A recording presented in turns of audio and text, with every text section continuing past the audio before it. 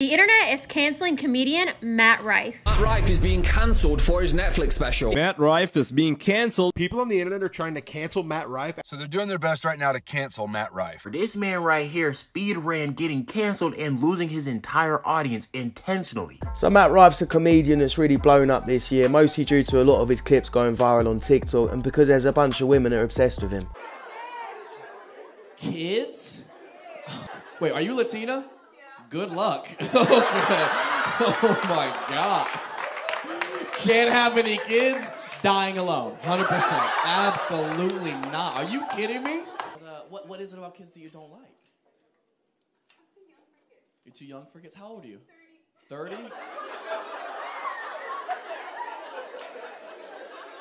I don't know how much you remember about health class, but you're almost too old for kids. I don't know if you know that. There's more people in this room than you have eggs left. I don't know if you know that.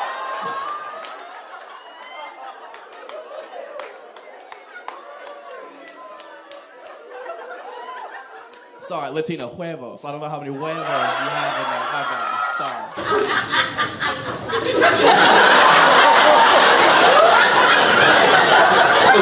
Did somebody let a fucking Halloween decoration?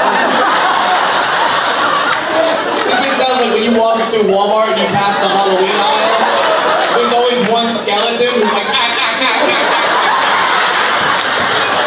ah. Nobody's even near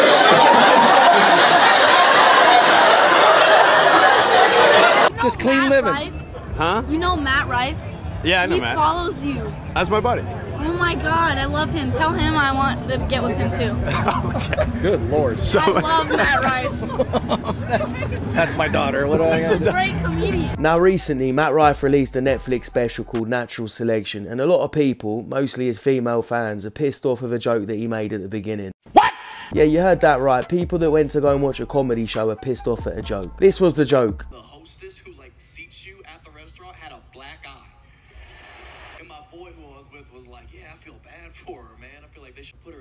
Or something. Where nobody has to see her face, you know? And I was like, Yeah, but I feel like if she could cook, she wouldn't have that black eye.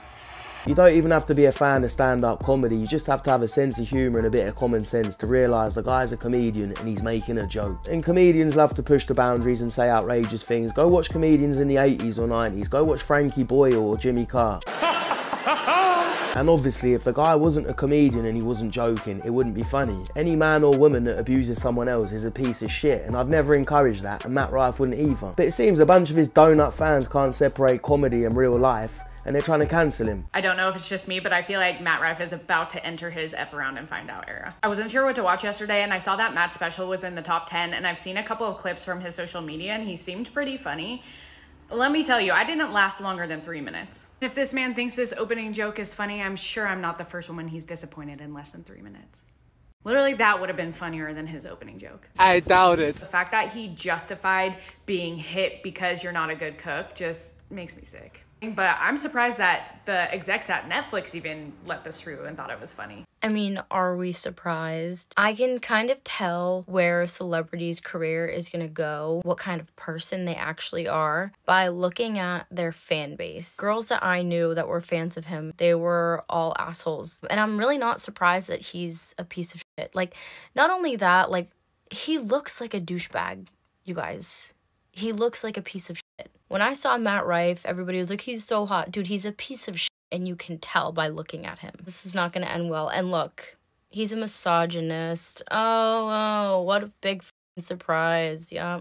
Seems like Matt Rife is the only one laughing at that joke. One person in a row, y'all are so shocked that Matt Rife is a misogynistic asshole. All I'm saying is he wasn't funny on Wild and Out, and he is not funny now. Another person wrote, not Matt Rife building his platform on catering to his female audience and then opening his Netflix special with a DV joke. So I attempted to watch the Matt Rife special on Netflix. I made it maybe 15 minutes in and just had to call it quits. If you haven't seen it, you've probably heard about it. He opens the show with a joke about DV. And I was like, okay, odd, odd thing to start with. Not, it just not, objectively not funny. Like it's one of those things that I'm like, I, I get dark humor. Like I like that kind of stuff. Stop the cap. Okay, I tried to watch the Matt Rife special, and it just felt so hateful of women. I couldn't even get past the first opening bit where he makes fun of all these women who he's sleeping with who like astrology. and I just wanted to say, Matt Rife, before you start punching down, like, for so long on these ladies who you're trying to be intimate with, that when women are talking about astrology, they're not talking about planets in the sky. We don't care. Let me tell, right, let me tell you, we don't care. Now, after all these fans decided to announce to TikTok that they're going to rip down their Matt Rife posters off their walls, Matt Rife responded. I'm sorry, did you see Matt Rife's Instagram story? I'm never one to like throw my hat in the ring to like talk about celebrities in this way, but oh my god. I know there's a lot of buzz around his Netflix special. I haven't watched it yet. I was going to. But apparently, there are a few jokes in there that people are getting offended by or upset about, and in response, he posted this If you've ever been offended by a joke I've told, here's a link to my official apology. And the link is to special needs helmets. I'm not making this up, this is still on his story. So basically, Matt Rife is standing on business and he's pissed them off even more. If he was upset that people were offended by his jokes, he could have just not said something. I feel like celebrities and comedians always make it worse when they try to double down or make a joke about people's offense. Did you see Matt Rife's response to the criticism he's getting? Because it's actually insane. My god, it's just a joke. No, no, no, no. Jokes are funny. There's no way. There's no way. In 2023? Are you kidding me? No, wait. And he has been through this before. I made a video about him a few months back. And he stood on business then as well. Flashback. Half Right got, got canceled on your podcast. Well, he just, I think it was just guys being guys. Guys, it was locker room talk. Locker room talk. Mm. And for the most part, people only know Matt from like one minute segments on Yeah. TikTok. And if And for three being dudes. smoking hot. you know what? good to be upset. I can't feel bad for everybody. I can't get upset. Yeah.